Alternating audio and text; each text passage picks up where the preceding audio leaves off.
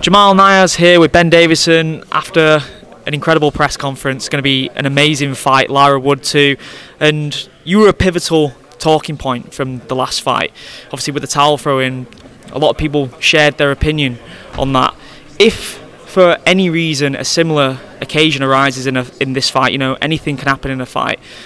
Would you do the same thing? And is that a discussion that you and Leigh have had in the build up to this one? It's not a discussion that we've had. You can only take each scenario as it comes each situation's individual, and um, you know you, you, you act in the moment. That's all you can do. Obviously, the focus isn't on the fight going that way. We're focused on on uh, Leigh putting in a great performance and avoiding any situations like that.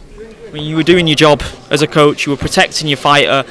Did it dishearten you to see the reaction from some fans? You know, you got a lot of support from some fans, but obviously in sport, you're, you're going to get people saying things like that, saying things that you don't necessarily want to hear. You're going to get the critics, aren't you?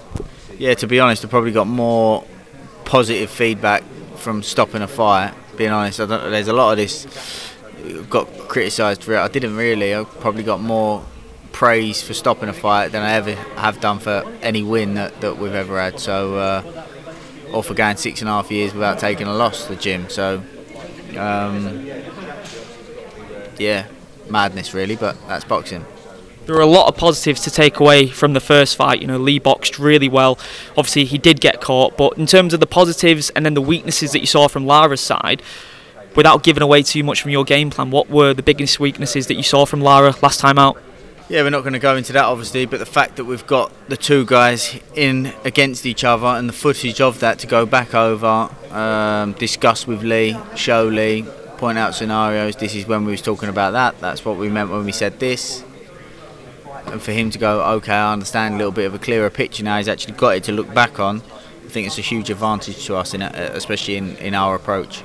I was saying to Leigh as well, Josh Warrington, and you can argue argue the Conlan Lopez fight as well. Josh Warrington's kind of looming over this fight with his rivalry with Lara. That's not going to get finished until those two guys have a third fight.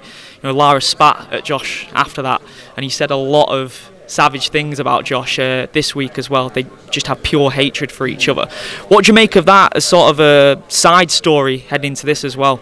I don't know. I'm not really interested in it. I think that uh, it's got a bit personal between them, but that's to do with them, and uh, we're just focused on Mauricio Lara for Saturday night. Conlan Lopez as well. Who do you think takes that? And you know, it's a win-win. They're both big fights. If if Leigh wins, you know, Leigh versus Conlan two, repeat of one of the greatest fights we've seen in the last decade. And Lopez, you know, fresh matchup for for Leigh and yourself as well. Yeah, a, a win for for Leigh and for Mick sets up a huge unification clash, especially taking into consideration their uh, the mad fight they had last time as well. So uh, yeah, you know, if it all plays out, that, that that's great. But uh, as I said, we're just solely focused on Saturday night, Mauricio Lara.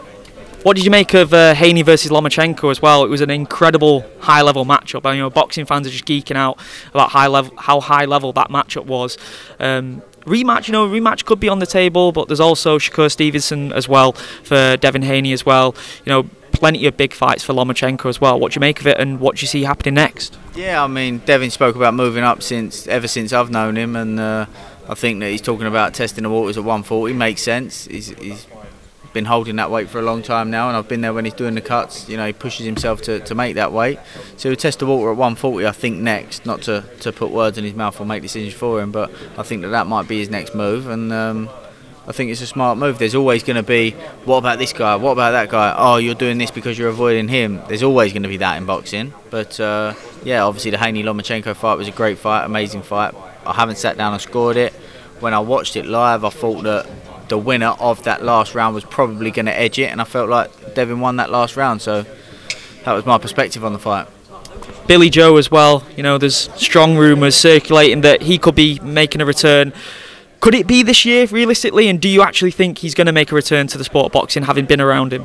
I don't know. Again, I can't make decisions for him. I think that he's keen to box again. I think that he isn't in a position where he has to come back, but he wants to come back. So he's working on his time, and uh, when he's ready, if he's ready, then we'll see that. From what you've seen, how has he been since the Canelo fight? It was a couple of years ago now, wasn't it? Mm-hmm. Yeah, positive. I think that uh, obviously he's, he's older, wiser, more mature. A lot of experience he would have gained from that. and a bit of time away from the sport, and I think he's missing it. In love with the sport, and uh, wants to be back. Speaking hypothetically, of course, what are some of the matchups that you'd like to see personally, just as a fan and a friend of him as well? I don't know. Again, I don't get involved in his business. That's he. He looks after his own career, makes his own decisions, and uh, if we end up working with him and training him for his comeback, then uh, you know, that's the role that we'll play. But in terms of matchups and, and the path that he takes in his comeback, that'll be down to him. I'm going to ask you a similar question. I'm expecting a similar answer, but uh, just in terms of Saturday, you know, we mentioned the possible opponents for Leigh if he wins.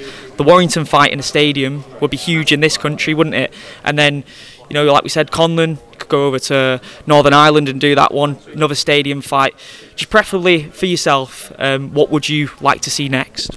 I don't know. We'd have to sit down and, and discuss uh, how that looks and, and how each option looks and uh, go from there. But at the moment, the, the, the picture and the, the focus is obviously on Mauricio Lara.